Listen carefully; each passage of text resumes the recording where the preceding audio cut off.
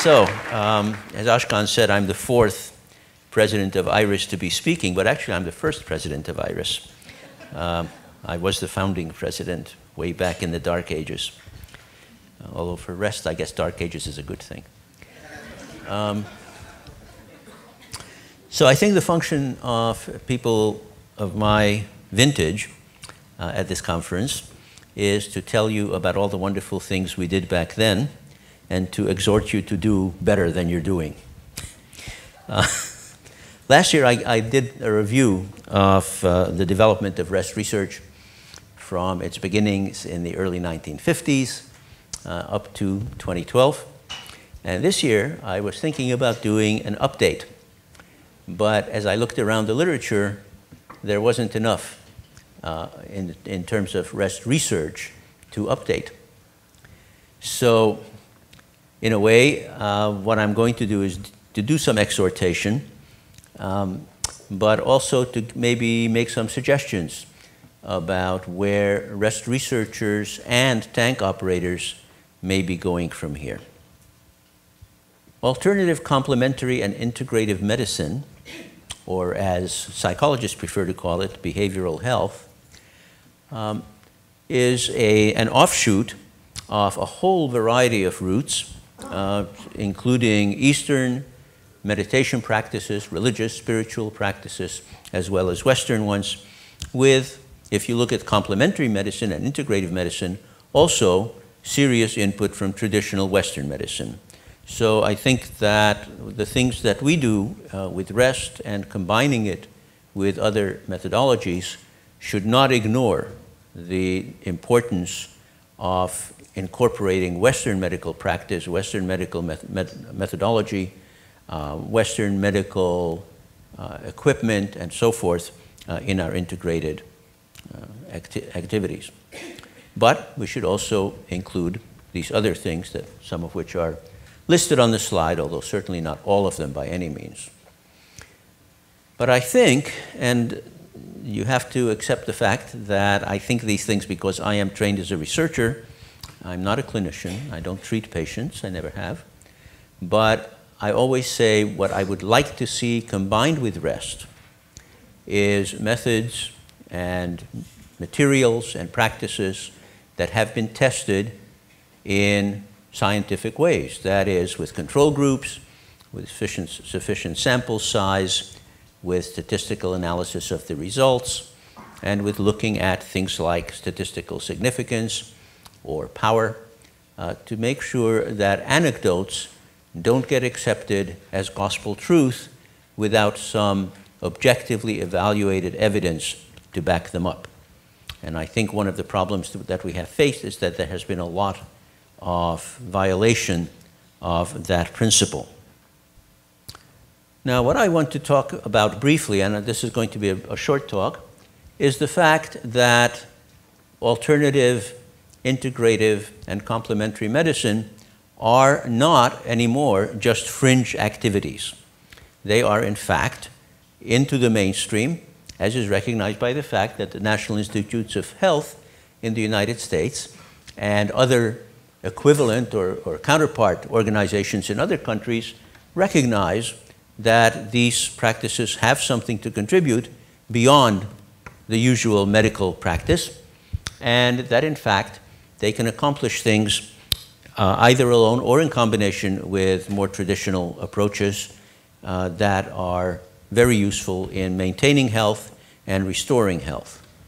And as the slide shows, according to NIH, almost 40% of Americans use this kind of approach as well as uh, normal Western medicine. Now, I'm not proposing that rest should substitute for medicine. Um, I think that it's very important, for example, to make sure that people who come for various kinds of problems that they are suffering uh, and that they hope will be relieved by rest, uh, that they have an examination to make sure that it's not something um, physiological that is not subject to kind of behavioral uh, approaches or alternate approaches, but that need to be treated by surgery or by medication. And um, I think Tom referred yesterday to a patient that got pain relief from floating, and it turned out that the patient had cancer. It's important when you have somebody like that who comes to you for help with something like pain to make sure that there isn't some underlying cause that is not going to be treated by rest, uh, or certainly not by rest alone. But anyway, uh, it's also important that once that's established, that then you go on and, um, and do whatever you need to do or whatever you can do using rest and other complementary or alternative medicine. So this is NCAM, which is the National Center for Complementary and Alternative Medicine.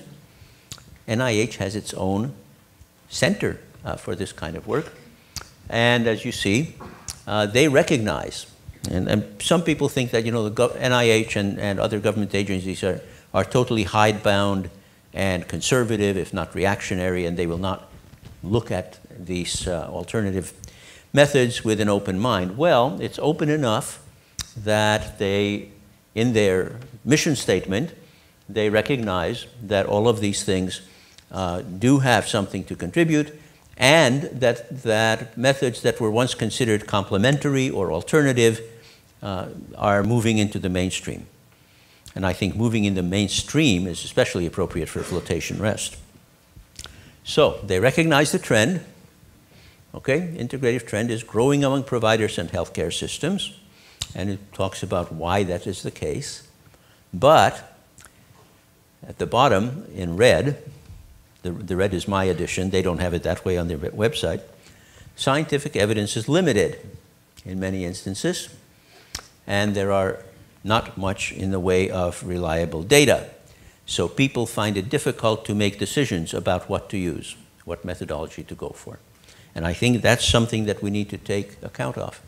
I think one of the problems with the spread of flotation rest, which by the way, of course, I'm very happy to see, is that we have not established for what it doesn't work.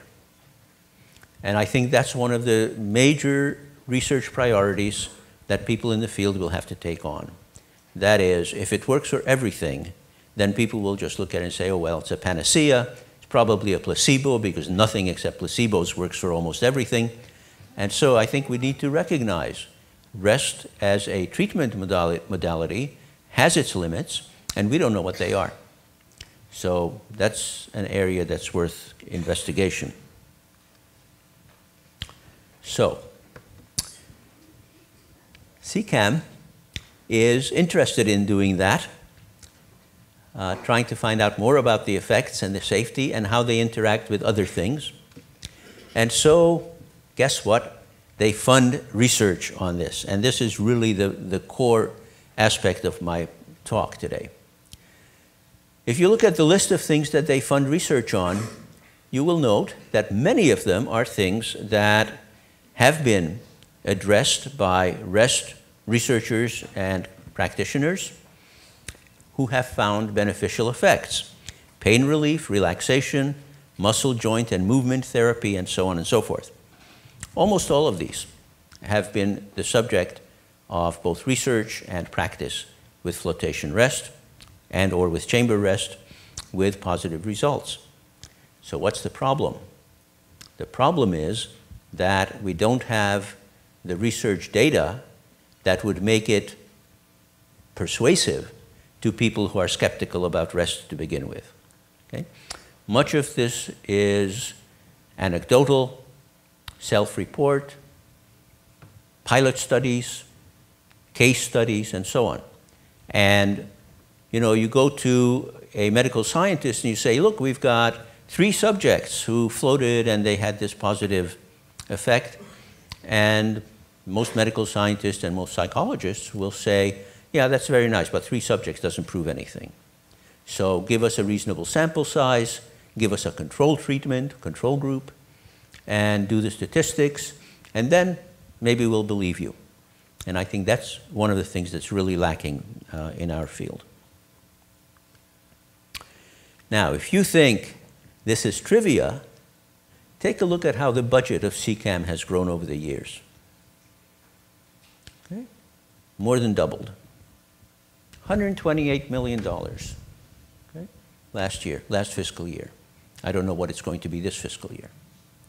But $128 million could fund a fair amount of good rest research, right? You know, 128 million here, 128 million there. Pretty soon you're talking real money. now, has anybody here ever applied for funds from this, mon- from this source? Okay. Well, um, why aren't we? Right?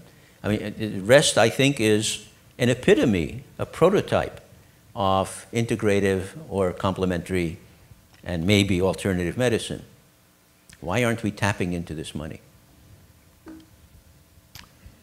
Well, if you look at what kind of complementary health approaches people are using, you will see that most of, most of the, um, the weight of it is on natural products, quote unquote.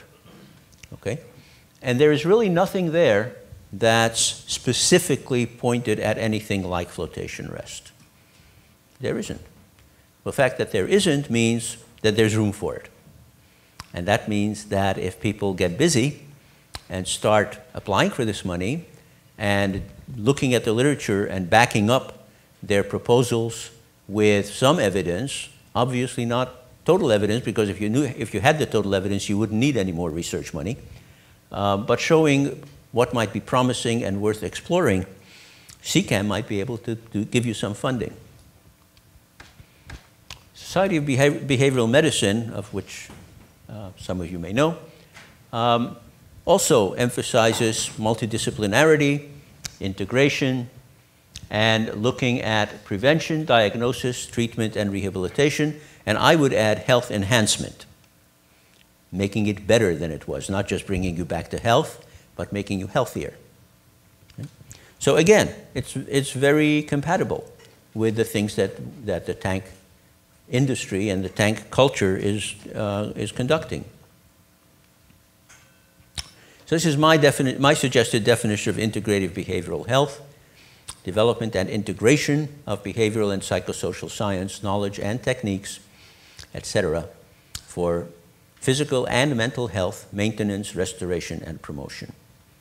And I think that would, would describe to people outside the float community what it is that we are doing, what it is that we can do, and what it is that they should be respecting. REST is not on, on the NCAM list of methods to be investigated, but it should be. If you look at its web page, Health Topics A to Z, excuse me, Z, um, sorry about that.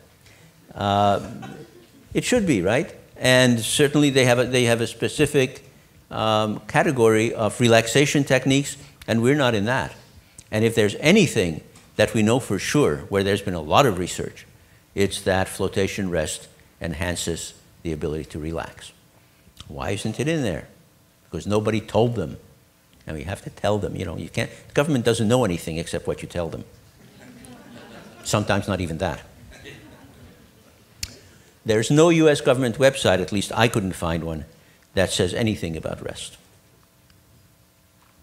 So, what do we do? Well, what we do is we draw to their attention the fact that here is a technique that has a lot to offer this general area.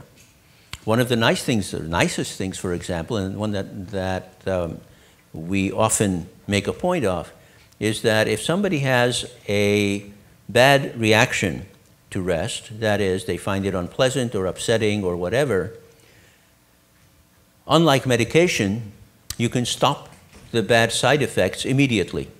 Come out of the tank, take a shower, get dressed, and off you go. And very, very, very few people have bad reactions that last longer than that.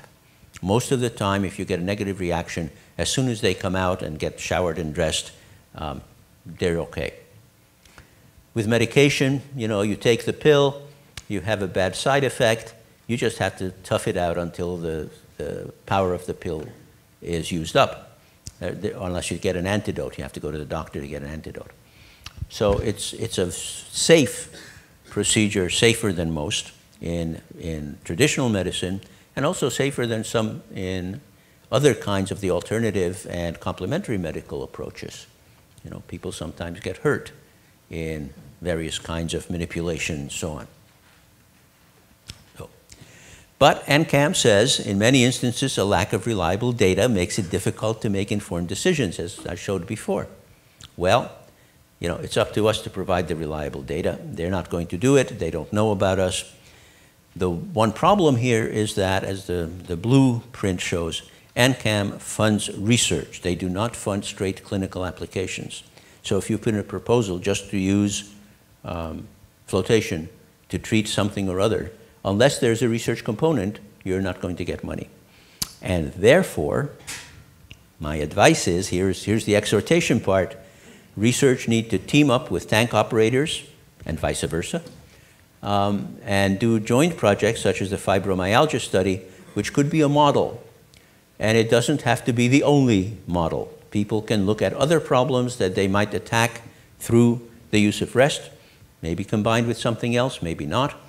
Uh, use the tank operators, use the researchers, have them working together, and um, not only expand the scope of REST as a treatment and as a research method, but also bring it more to the attention of a government funding agency and by that to the public. So we could advance both, both the research and the applications. So both the, uh, the uh, commercial floating community and the research community could benefit from this. You have to go after the money. You know, research takes money, and uh, that would also help to fund some of the uh, facilities. And so find each other, team up, and get going. And I think a conference like this is a wonderful place to find each other and team up. Now get going. Thank you.